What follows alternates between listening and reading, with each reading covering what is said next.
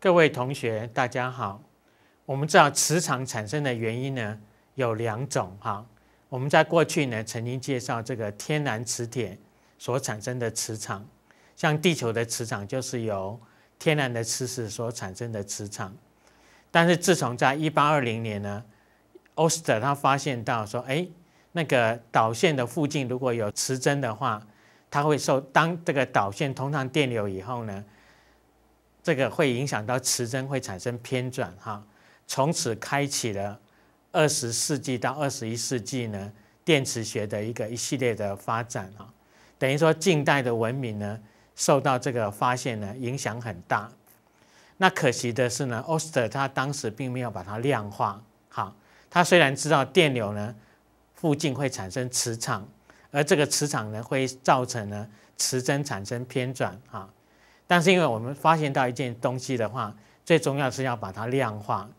所以我们今天就谈到这个量化的最基本的一个概念哈，就是有两个物理学家，一个是 B.O. 哈，一个是沙法，他们共同呢把欧斯特的发现呢把它量化，就是导出一个公式，用一个公式来推导哈。那我们知道物理呢，它最重要的推导是点对点的关系。像电场，我们过去讨论过电场，电场呢也是从电荷对点的关系来产生一系列的发展。我们对于这个磁场的发展呢也不例外哈。那我们先做一个假设，好，我们假设有一个导线单元，所谓导线单元呢，就是代表它的长度呢几乎是零，呃，也就相当于它的长度实际上就是一个点的长度，叫做德尔塔 L。那我们把这个角导线呢通上一个电流 I 哈，当电流 I 通过这个德尔塔 L 的瞬间呢，理论上来讲哈，整个空间呢就是一个磁场。好，那既然整个空间是一个磁场呢，我们在空间随便再取一个点，对，那这个点呢假设是 P 点，我们等下会用一个图呢来做说明哈。那这个 P 点的磁场呢，它的大小呢就可以用这个公式来推论。好，那我把这个公式给大家做一个解释哈。第一个是材质的因素，我们叫做缪零。我们刚刚对这个，我们过去呢曾经对物质的磁性呢做过一番探讨哈。就是物质呢，如果以大类来分的话，分成两大类，一类是铁磁性的物质哈，那它的导磁率呢，或者有也叫做磁导率也可以哈，就是比缪零呢要大很多倍。那另外一种呢，就是弱磁性的物质哈，弱磁性里面包括顺磁性跟反磁性。如果使用这种材质的话，当做电流通过的材质的话，我们一律都用缪零。那这边呢，缪零它真正的意思就是真空的磁导率，哈，也称为导磁系数，它是四拍呢乘上十的负七。那这个 T 呢是代表磁场的单位，就是特斯拉，这是。长度单位公尺哈，这是电流单位安培，好，那在物理里面呢，我们通常会把背景值呢设成真空哈，那如果背景值是真空的状态之下呢，也是会给它一个磁导率，也有人叫做导磁系数，两种称呼是一样的意思。所以呢，那这个导线单元呢，我们就把它假想成一个真空状态哈，就等于是。也是相当于空气的，就是没有任何任何介质存在的条件之下，当电流通过那个点的那一瞬间，好，所以我们用缪零。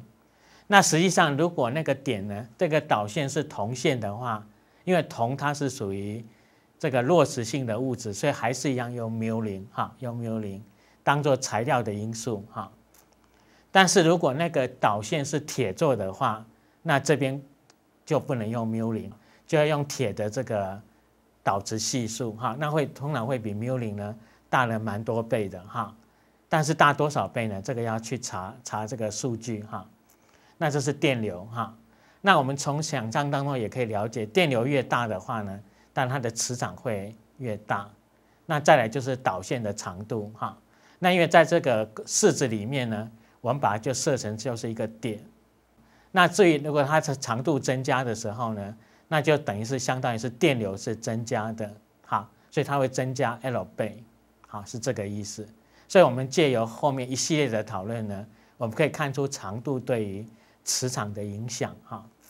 那再来就是距离的因素，这个距离呢，实际上它是一个向量哈。这个向量呢，它是代表两点之间的距离，因为德尔塔 L 呢，它本身其实也是一个向量。那这个向量的方向呢，就是电流的方向哈。那这个 r 呢，就是电流方电流它，因为它是一个点，对不对？那两点之间的这个向量哈，也是代表距离。r 本身是一个向量，那在它的量子呢，是代表两个点之间的距离，就是小导线它是一个点哈。德尔塔 L 实际上它就是一个点，跟这个 P 点哈，我们假设那个另外一个点呢，就是 P 点。两个之间的距离，那距离越远的话，当然很明显的磁场越小。然后带了一个角度的因素哈，这个西塔呢代表的是德尔塔 L 向量呢跟 R 向量之间的夹角，也就是电流方向呢跟 R 向量的夹角。好，那我关于这个夹角的问题呢，我跟大家再再详细的做一个详细的讨论哈。我们发现这个西塔如果等于零度或者一百八十度的时候呢？这个 sin 的西塔的值是零，那这个意味着哈，这个在沿着电流的方向或者反方向这些点呢是不会有磁场产生的。那我们借由下面这个图例呢，详细的说明它们之间的一个数学关系式哈，以及方向的一个探讨。好，我们来看这个图，这个就是小导线哈，实际上它就是一个点哈，就是一个点。那当电流通过这个点的时候，瞬间呢，在它的右前方，我们取一个点叫做 P 点哈。那我先来解释一下 P 点的磁场要怎么定哈。我们就把这个电流呢，沿着它的方向哈，前进方向呢，我们假设有个平面，而这个平面呢，跟电流的方向是垂直的哈，有这样的一个平面，所以电流会穿过这个平面哈。那穿过的点叫做 O 点哈，我就是它的。中心点，那我们利用这个右手螺旋定则哈，就是用右手的大拇指呢代表电流的方向，然后就产生一个所谓的磁力线哈。这磁力线呢是顺时钟的方向，